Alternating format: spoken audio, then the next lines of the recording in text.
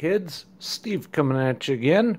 And this time I'm going to open four packs from a box I just bought for 10 bucks of Stadium Club 91 Series 1 and four packs of Stadium Club 91 Series 2. Before I do that, little public service announcement. If anyone has any of this Will Clark from 1987 Topps, I am a big collector of his. Let me know what you want, or just send them and I will open them on a mail day video. I just always liked him. It is a rookie card, not worth much. And if I remember right, his very first major league hit was a home run, which is pretty awesome. And I just wish he could have kept it up for a, lot longer, but I do like that.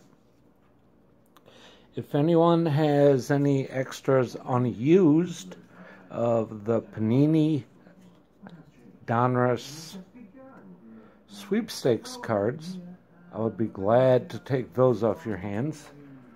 If you use them and keep them yourself, that's fine too. No, no skin off my back. I'm first going to open this kind of a dud of a pack. The 2019 Series 1 Topps Baseball. Maybe we can get lucky. We got this hanger pack in one of the um, boxes that my mom ordered as a kind of a grab bag box. But let's see here. Rookie Bud Rookie, or Bo Rookie, sorry. Losiga, and I know I'm butchering names. So it's that happens. Not got much here. Uh, Heath Fillmyer, Kyle Tucker, Garrett Hampson. A lot of rookies, but again, kind of a dud of a pack. Brandon Lowe, rookie.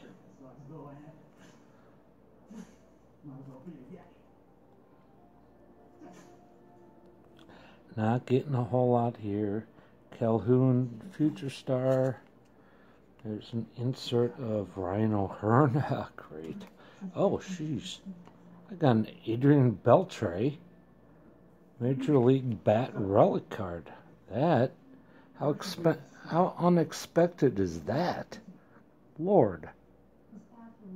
It's not numbered, but you know what? That's awesome. I think he's a future Hall of Famer myself. Thank you.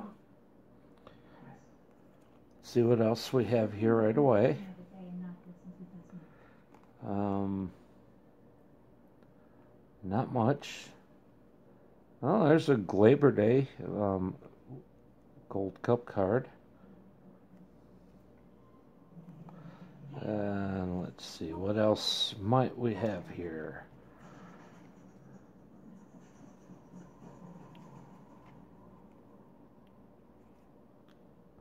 Doesn't look like anything major. Jack Flaherty. If anyone noticed anything in here that I didn't, please comment below. The rookie cards are so-so. O'Hearn is only saved because it's the 84 design. And that was pretty sweet. When I get thick cards, instead of scrunching them into even the thicker sleeves and top loaders, I don't like that. I get these here from the same company that I get everything from, Ultra Pro. These are 25 count holders. I just get them in there. That way the corners always stay. People can check it out, take it out a lot easier if they need to. I just love those. Now, how about what we all came here for? Let's take the first four packs off of these, the Series 1. Hopefully not bricked up. Looking for some of the variations, which will be cards without foil on them. We've seen those. And looking for some of the cool cards. Frank Thomas, Nolan Ryan Tuxedo, Uh, Robin Yount, obviously for me, love Robin Yount. Um, Ken Griffey Jr. card is really nice looking. And I'll try to do a couple of these each time so as not to go too long. Trying to be careful, I don't want to ruin any of the cards. Because in PSA condition, some are worth quite a bit. Uh, you got Jeff Bagwell, rookie in Series 2. Uh, like looking for Hall of Famers. Oh, these aren't bricked up at all. Nice. And I heard tonight someone say that there's a Otis Nixon error card. I do not know what that error is, nor am I familiar with it. So if anyone else does, please let me know again in the comments below. And also in my description, I will put my mailing address if you get a wild hair somewhere and you feel like sending me something because I always showcase what people send me and all the different items I get. And I've had quite a few incredible mail days so far, and it's all thanks to you guys. We have to keep growing the community and living on a budget, just like Junk Wax Girl doing her Fairfield boxes. She's done very well, just like the one and only Bud Stoney does extremely well. You have Rippin' for Ripkins. You have um, Bearded Collector does just a great job with all kinds of good stuff. Uh, random card rips with Ryan. You have, excuse me, you have who was that I was thinking of? FDC Family, I believe.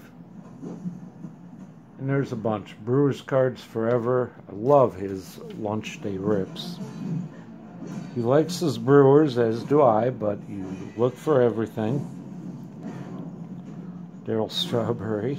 Yay. Believe it or not, that's the best card we've got so far. Well, Ah, we started with Series 2, just because to me the better stuff is in Series 1, but they both cost only 10 bucks a box. And Antique Mall, Fox River Antique Mall in Appleton, Wisconsin. If anyone's close or can get out there, they had quite a few card tables or stands there, and they all produce good stuff for me if you watch my videos. I showcase that. And, had a good time there. Well, Tom Glavine, there's a Hall of Famer. We have Tony Gwynn, Hall of Famer. This is not a bad pack at all. Sorry about the background noise. I'm watching, what is this? The New Adventures of Monkey or something like that on Netflix. Obviously anything with the word monkey, but this is good. It's like the mystical arts meets sci-fi. It's pretty decent. Series 2 just came out, so I had to play that. Pedro Guerrero, everyone liked him back in the day. Now we got a little bit of stickage. And the back of these cards is pretty cool. Ray Lankford rookie shows his rookie card. It tells you what it is, the Topps debut from 1990, and stats if they have them. Once we get a decent established player, I will show that to you. And uh, yes, my definition of decent will be different than most people's. Bill Wegman, second time I already seen him. Another Tony Gwynn, but we did not get another Tom Glavine. And let's see here. Come on. Oh, there's three of them there. There's not been a whole lot of paper loss, which is good. Okay, now we're into Series 1. I kind of expect these to stick together a little more. But we'll see. Again, for $10 a box, how can you pass that up? I got two boxes of number one, a box of number two, a box of 91 Leaf Series 1, and a box of 91 Leaf Series 2, all for 10 bucks a piece. I'm just kicking myself for not cleaning the guy out completely, though. Really should have. He had his packs for a dollar a piece or boxes for 10. Hey, look. Should I send that to Jeb's family? Nah, it's not a rookie card. Let's see here. Kelly Downs, Jason Grimsley. I feel another one in there. And that will be Dave Valle. Funny, these never seem to stick to anything. Joe Magrane. Chuck Crim, Baseball Checklist.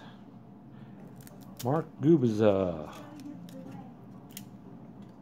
A couple other known names. BJ Surhoff was on a tear for a long time. Then the Orioles happened. Larry Walker. All right. That's actually a pretty sweet card. Not considered as rookie, but by all means, but a Hall of Famer nonetheless, with no paper loss. And he looks like Danny to me from Caddyshack, just sitting there. Be the ball, Danny. No, no, no, no, no, no, no. Man, these these packs were a lot easier to open back in the day when we bought them, but hopefully we can pull something decent or we can pull Junior Ortiz, you know. Whatever. This time it's sticking to it. Yay. Alright, there's that. Wow, a lot of paper loss between Robin Ventura and Bruce Ruffin, and we're not even done with that yet. God. Glad the company's finally figured out not to put so much coating or to make them this way. I'm just sad it took them so long. I mean, look at that. That's horrible.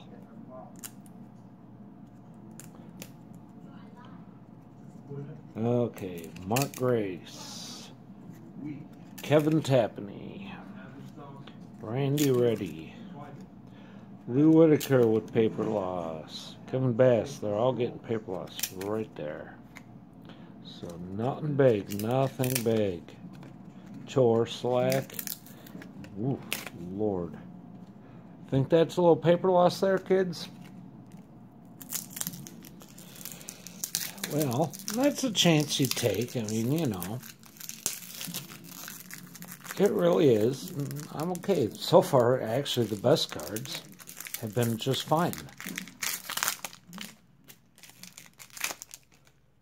And this pack, a little better. Lance Johnson, Ryne Sandberg with paper loss, uh, Hall of Famer, but he's pretty beat up. So we'll throw him over here. Kelly Downs and Scott Bradley. Mark Langston. Fernando. Orel Hershiser. Well, I think he owns a little white van down by the river. Paul O'Neill was on a great course. Got a little sidelined at the end. Sandy Alomar. Tom Gordon. And Harold Reynolds. Last pack magic. Kind of hope not the way they're sticking together, but you never know. So, so far, Series 2 is much better for A, Hall of Famers, and B, lack of stickiness and ease of opening. Look at this, even the wrapper's sticking to these. Good lord. Okay. Kurt Stillwell.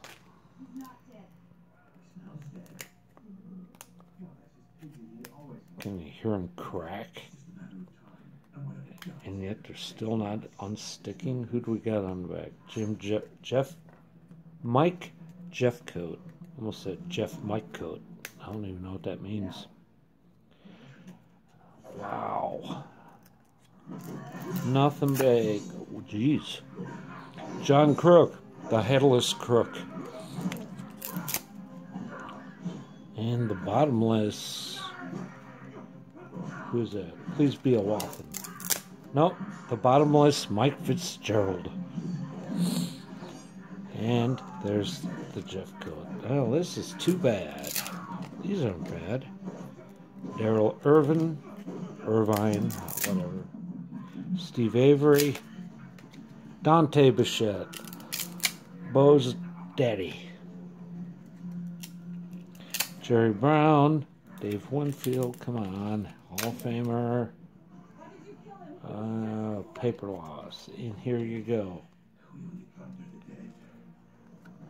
Shane Mack, it's actually kind of a really cool pose, and Charlie Hayes.